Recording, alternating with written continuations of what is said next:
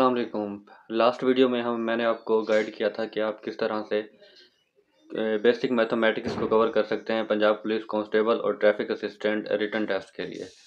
तो आज की इस वीडियो का टॉपिक है कि हमने इंग्लिश और उर्दू की प्रिपरेशन कहाँ से करनी है और कौन से टॉपिक्स कवर करने हैं ताकि हमारा पंजाब पुलिस कांस्टेबल और ट्रैफ़िक असिस्टेंट रिटर्न टेस्ट 2024 जो होने वाला है उसको कवर किया जा सके। तो मैं आपको बताऊँ, अगर हम उर्दू की बात करें तो उर्दू में उर्दू और उर्दू ग्रामर, ये दो मेन पोर्शन हैं जहाँ से सवाल बन सकते हैं। ठीक है, उर्दू से ज़्यादातर नहीं पूछा जाता, उर्दू ग्रामर को ही फोकस किया जाता है।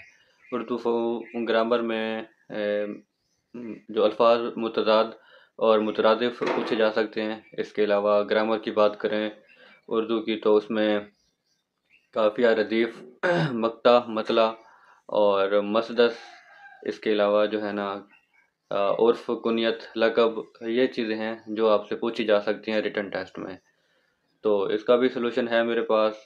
जो लोग मुझसे पूछ रहे हैं कि ना, उर्दू की तैयारी कहाँ से करें, उन्होंने चैनल को देखा ही नहीं है। अगर आप इस चैनल को देखेंगे ना वीडियोस में जाके तो स्क्रॉल करते जाए, नीचे आपको वीडियोस मिल जाएँगी। जैसा कि बेसिक मैथमेटिक्स की वीडियो भी पड़ी हुई है और उर्दू ग्रामर की भी पड़ी हुई है, जिसमें ये सारे आपके कहने से पहले ही मैं ऑलरेडी ये टॉपिक्स कवर कर चुका हूँ तो आप जाएँ उन वीडियोस को देखें, उनसे हेल्प लें। आपको और किसी नोट्स की ज़रूरत नहीं पड़ेगी और टेंशन आपकी ख़त्म हो जाएगी, आप जाके वो वीडियो देखें ग्रामर के बारे में। इसमें मैंने सारे टॉपिक कवर कर दिए हैं, आप इसको देखें, इसके नोट्स बनाएँ अपने पास, लिख लें एग्ज़ाम्पल से इसको तैयारी करें।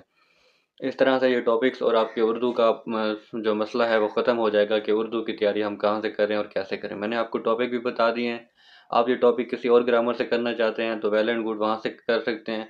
और अगर आप इसका आइडिया जो है मेरी वीडियो से लेना चाहते हैं, जो मैंने जो है तकरीबन डिटेल के साथ सारा ये कवर किया हुआ है तो आप ये टॉपिक्स मेरे वीडियोस में जाएँ और उसको देखें, वहाँ से आपकी उर्दू ग्रामर आपकी कवर हो जाएगी। अब इंग्लिश की बात करते हैं कि इंग्लिश की तैयारी जो है पंजाब पुलिस कांस्टेबल और ट्रैफ़िक असिस्टेंट में कौन से टॉपिक्स ऐसे कवर करें जो हमारे रिटर्न टेस्ट के लिए इंपॉर्टेंट हैं और उन्हीं में से जो है पेपर भी बने। तो इंग्लिश जो है एक वास्ट सब्जेक्ट है, इसके काफ़ी सारे पोर्शन हैं जिसको हमें कवर करने की ज़रूरत है। तो मैं आपको बताऊँ कि अगर आप इंग्लिश की तैयारी बेहतर करना चाहते हैं तो पहले सारे टेंसेस जो हैं, उनको अच्छी तरह से देख लें। टेंस में आपने ये देखना है कि ये कौन सा टेंस है, इसमें कौन सा हेल्पिंग वर्ब यूज़ हो रहा है। यानी कि वो सवाल इस तरह से पूछेगा कि आई वॉज़ राइटिंग अब बताएँ ये कौन सा सेंटेंस है? तो ये है जी पास कंटिन्यूस टेंस क्योंकि हमें इसकी पहचान का पता है कि मैं लिख रहा था तो रहा है ये रहा था, रहा थी, ये है जो पास्ट कॉन्टीन्यूस टेंस है। तो आप जो है सबसे पहले आप ज़्यादा इसको वो मुश्किल ना लें, सिर्फ़ बेसिक इसकी कॉन्सेप्ट ले लें कि कौन सा जो टेंस है उसमें कौन सी हेल्पिंग वर्ब इस्तेमाल होती है। ठीक है, अगर आपके टेंस अच्छे हो जाएँगे तो आपका तकरीबन फोर्टी परसेंट एरिया कवर हो जाएगा इंग्लिश के बारे में। नेक्स्ट जो है आपको पार्ट्स ऑफ़ स्पीच के बारे में पूछ सकता है कि नाउन प्रोनाउन वर्ब इसके बारे में एक सेंटेंस आपको देगी, देगा कि ही इज़ राइटिंग आप बताएँ कि इस सेंटेंस में ही क्या है तो ही ऑफ़ कोर्स जो है वो प्रोनाउन है। नाउन की जगह पे इस्तेमाल हुआ है। तो ये है इस तरह से आपके पार्ट्स ऑफ़ स्पीच टेंस इसके अलावा प्रेपोजिशन वो काफ़ी पूछता है कि इज़ लगेगा ऑफ़ लगेगा। तो ये आप जो है ना, इसको मैथ अपना, मैट्रिक की बुक में से इसको कवर कर सकते हैं। उसके जो एक्सरसाइज हैं, उसमें काफ़ी प्रीपोजिशन जो है दिए गई हैं। वहाँ से प्रैक्टिस करें प्रेपोजिशन की, क्योंकि वहाँ पे तकरीबन पंद्रह से बीस बीस एक्सरसाइजेज हैं। तो अब मैं आपको कैसे एक्सरसाइजेज के बारे में गाइड कर सकूँ या उसको अपलोड कर सकता हूँ? तो आप ग्रामर उठाएँ और उसमें से प्रेपोजिशन को टिक कर लें वहाँ से उसकी प्रैक्टिस कर लें। ठीक है, इसके अलावा जो है, अगर इंग्लिश की बात करें तो सनोनाइम एंटोनाइम यानी कि अल्फाज मुतदाद आ सकते हैं। तो ये जो है, अब नहीं कहा जा सकता कि कहाँ से आने हैं।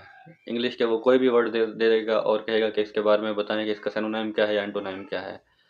तो तैयारी के लिए यह है कि आप मैट्रिक की बुक उठाएँ और उसमें जो एक्सरसाइजेज में जितने सनोनाइम एंटोनाइम हैं, उनको याद कर लें। ये आपका एरिया कवर हो जाएगा। तो इंग्लिश में सनोनाइम एंटोनाइम इसके अलावा जो है, पार्ट्स ऑफ़ स्पीच, टेंस। इसके अलावा प्रेपोजिशन ये चार टॉपिक्स हैं, इनको आपने कवर करना है। इसके बारे में तकरीबन मेरी कोई वीडियो नहीं पड़ी चैनल पर जिसमें आपको रेफ़र कर सकूँ कि आप ये वीडियो देखें तो आपका जो है ये कवर हो सकता है। अलबत्त मैंने आपको टॉपिक्स बता दिए हैं कि आपने ये टॉपिक्स कहाँ कैसे करने हैं और कहाँ से करने हैं और कौन कौन से टॉपिक हैं। उर्दू के बारे में मैं आपको ऑलरेडी बता चुका हूँ कि इस चैनल पर ही वीडियो पड़ी हुई है। आप उसको जाके देखें, उसको बेसिक उर्दू ग्रामर के जितने सवाल बन सकते हैं पॉसिबिलिटीज़ है वो मैं आपको ऑलरेडी जो है वहाँ पे बता चुका हूँ। ठीक है, ये आपके इससे रिलेटेड सब्जेक्ट्स थे जिसके बारे में आप परेशान थे कि भी इनकी तैयारी कहाँ से करें। होपफुली आपको ये सारी मालूम मिल गई होगी। मालूम मिलने के बाद अब आपने तैयारी स्टार्ट करनी है। और इसके अलावा अगर कोई और आपको कन्फ्यूज़न है तो वो आप कमेंट सेक्शन में लाजमी पूछ सकते हैं।